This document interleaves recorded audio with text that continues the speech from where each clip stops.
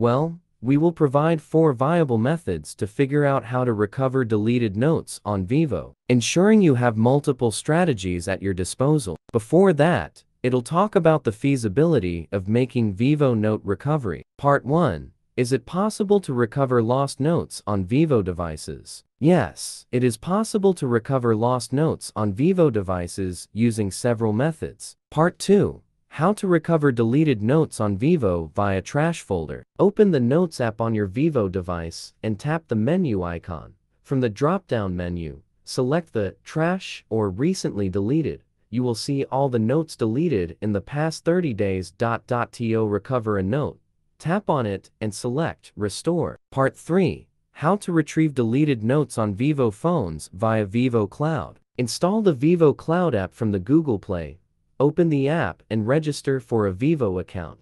Go to Settings Accounts and Sync. Select the data you want to back up to Vivo Cloud. Navigate to Settings More Settings Backup and reset Backup Data Google Server. Enable Backup My Data to save your data.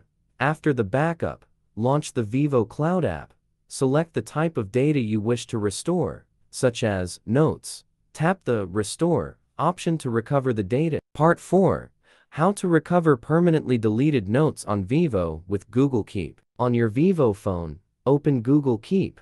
Select the Note to Archive. Tap the Archive icon. Launch Google Keep.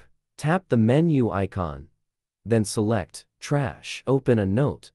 Tap the Action menu. Then select Restore. Part 5. How to recover lost notes from Vivo Phone SD card. Access the device backup screen in ColorNote by navigating to Menu Backup Device. Select the note files you wish to restore from the backup file list. Opt for Restore and, if prompted, input the master password you set. Extra. How to recover other deleted files on Vivo. Is it possible to recover deleted data like contacts and videos from a Vivo device without a backup? Yes. MobiKin Doctor for Android Win and Mac is a powerful tool for recovering lost content from almost any Android device, including Vivo.